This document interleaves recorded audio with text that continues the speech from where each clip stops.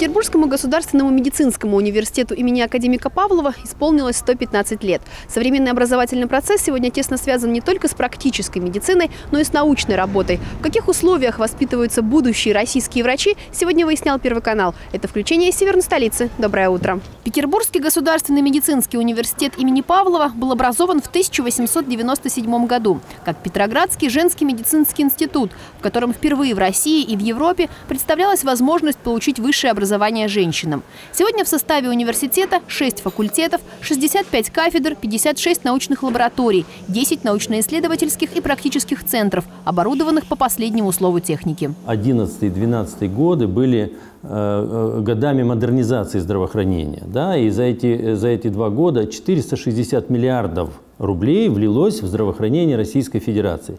В том числе и наш университет вот в 2012 году получил более 300 миллиардов рублей для проведения модернизации. На эти деньги у нас отремонтированы операционные, закупленное оборудование, компьютер томограф, рентгеновский аппарат, ангиограф и многое-многое-многое-многое другое, что необходимо для того, чтобы э, все наши клиники э, могли э, оказывать все виды высокотехнологичной медицинской помощи, специализированной медицинской помощи, и чтобы это Эм, было, э, так сказать, на высоком уровне. Еще пять лет назад подобная операция по удалению зубного камня из железы занимала несколько часов, а реабилитационный период продолжался от недели до трех. Сегодня при помощи высокотехнологичной эндоскопической стойки сложнейшая операция выполняется всего за несколько минут, и уже вечером пациента отпустят домой. Кроме того, за действиями врачей студенты теперь могут наблюдать, не выходя из аудитории, благодаря многокамерной видеотрансляции в режиме реального времени. Использование современного оборудования в учебном процессе и во врачебной практике на кафедре челюстно-лицевой хирургии стало возможным благодаря государственной программе модернизации медицинского образования. В нашей клинике были закуплены совершенно уникальные установки. Это устройство для остановки кровотечения, операционный микроскоп, при помощи которого хирурги выполняют высокоточные операции, э, связанные с замещением изъянов после удаления опухоли или после травм челюстно-лицевой области, лоскутами, сшиванием сосудов. Это позволяет пациентов быстро реабилитировать, и пациентам, которые были обречены на уродство и глубокую инвалидность, они выписываются через две недели из нашей клиники трудоспособными. Прошлом году университет имени Павлова перешел на третий государственный образовательный стандарт, который учитывает опыт ведущих клиник мира. Здесь впервые появился настоящий симуляционный класс. Теперь будущие врачи могут многократно отрабатывать навыки не на пациентах, а на роботах, роботах, которые по всем реакциям максимально приближены к человеку. Э, вот это оборудование позволяет использовать э, э, даже те ситуации, то есть обучать тем ситуациям, которые встречаются достаточно редко в медицинской практике, в реальной жизни.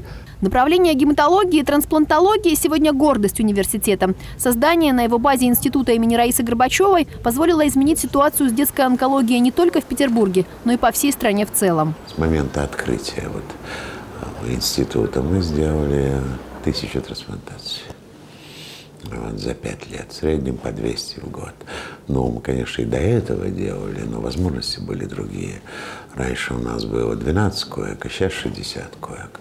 Раньше у нас не было многого оборудования, которое есть сейчас. Ситуация изменилась радикально.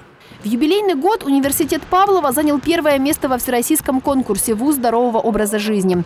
Здесь считают, что каждый будущий врач должен иметь не только отличные медицинские знания, но и активно заниматься спортом. Ведь именно философия здоровья – залог успеха лечения любого недуга. У нас больше 15 спортивных секций, самые различные виды спорта. Сборная по волейболу, сборная по баскетболу, бальные танцы, бадминтон, бассейн замечательный, соответственно, сборная по плаванию – даже отдельные члены сборной нашей по баскетболу участвовали в составе сборной студенческой на универсиадах.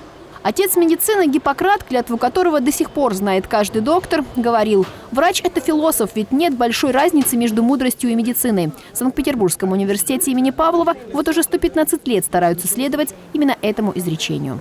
Ирина Товкалева, Максим Беляев, Андрей Кремешов, Владимир Пивнев. Первый канал, Санкт-Петербург.